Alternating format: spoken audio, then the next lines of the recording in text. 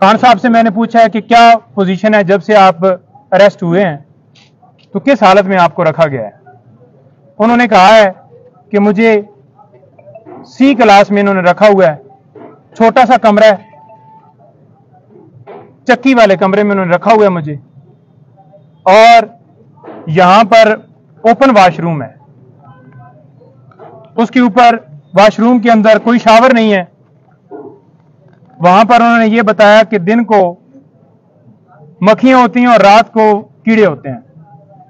ऐसी हालत में उन्हें वहाँ पर रखा गया खाने के हवाले से उन्होंने कहा है कि मुझे कोई इशू नहीं है। दे मुझे दाल रहे हैं, साग रहे हैं, वही है खाना। लेकिन इस हवाले से मुझे कोई इशू नहीं है, जो भी खाना मर्ज़ी है वो दें। और साथ उन्होंने ये भी कहा है कि अगर मुझे डी क्लास में रखते हैं वो, इससे भी अगली क्लास में रखते हैं। तो मैं बिल्कुल तैयार हूँ। मुझे उस हवाले से कोई परेशानी नहीं है कि मुझे ये डी क्लास में रखें। लेकिन जो मुझे करवा रहे हैं ये सारा कुछ वो मुझे पता है। आप मीडिया के ऊपर सबको बताओ कि मैं कभी भी गुलामी कबूल नहीं करूँगा। सारी ज़िंदगी जेल में गुजार लूँगा। सारी ज़िंदगी यहाँ पे रह लूँगा। लेकिन कभी भी गुलामी कबूल नहीं करूँगा। सर ये उसके साथ साथ उन्होंने बताया कि मैं आज स्पेशली उन लोगों को सलाम पेश करना चाहता हूँ।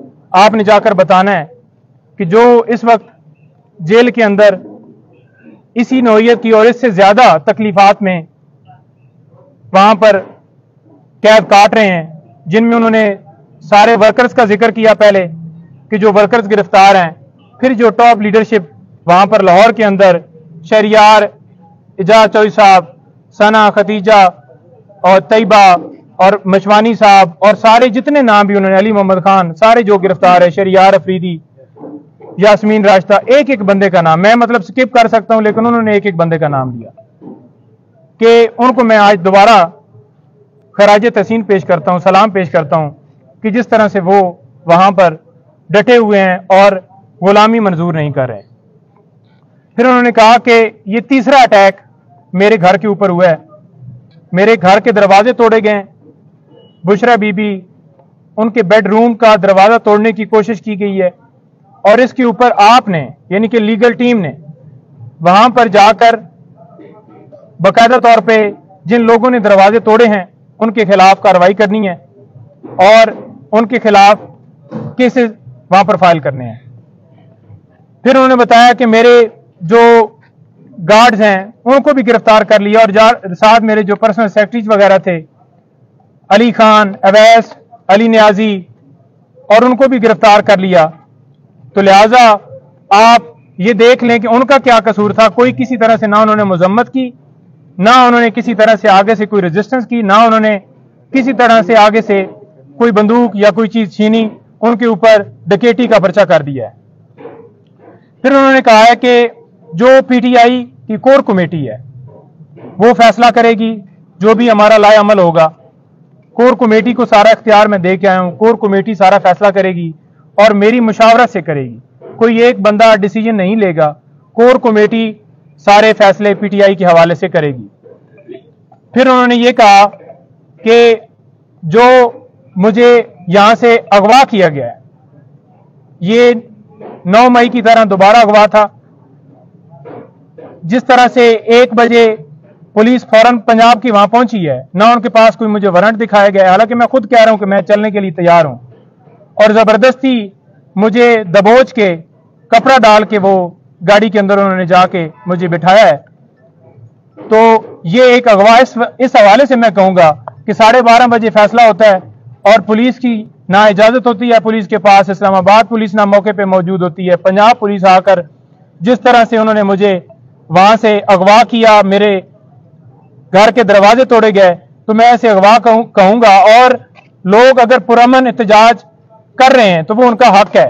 क्योंकि जिस तरह से ये डिसीज़न दिया गया उजलत में, और जैसा हमने यकतरफा कार्रवाई की तो पुरमन एहतजाज हर शहरी का हक है, और मैंने पुरमन एहतजाज का हमेशा कहा है। मैं अब भी यही कहूँगा कि पुरमन एहतजाज वो हक है, और वो पुरमन एहतजाज होना चाहिए।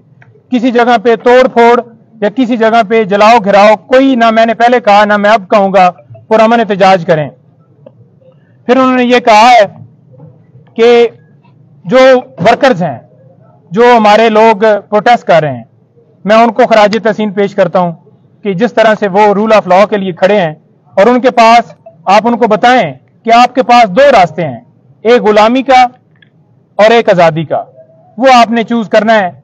मैंने चूज़ किया हुआ है और आपने भी चूज़ किया हुआ है तो लिहाजा गुलामी की ज़िंदगी से बेहतर है कि मौत आ जाए। तो लिहाजा आपने ये जंग जो है जारी रखनी है। साथ हमने एप्लीकेशन लॉयर्स के हवाले से जो सुप्रीटेंडेंट साहब ने उनको दे दी है कि एक तो खान साहब को एक क्लास दी जाए जो कानून के मुताबिक उनका हक है। और दूसरा, हमने ये कहा है कि डॉक्टर फैसल साहब जो उनके डॉक्टर हैं, अभी तक उनको इजाज़त नहीं दी गई।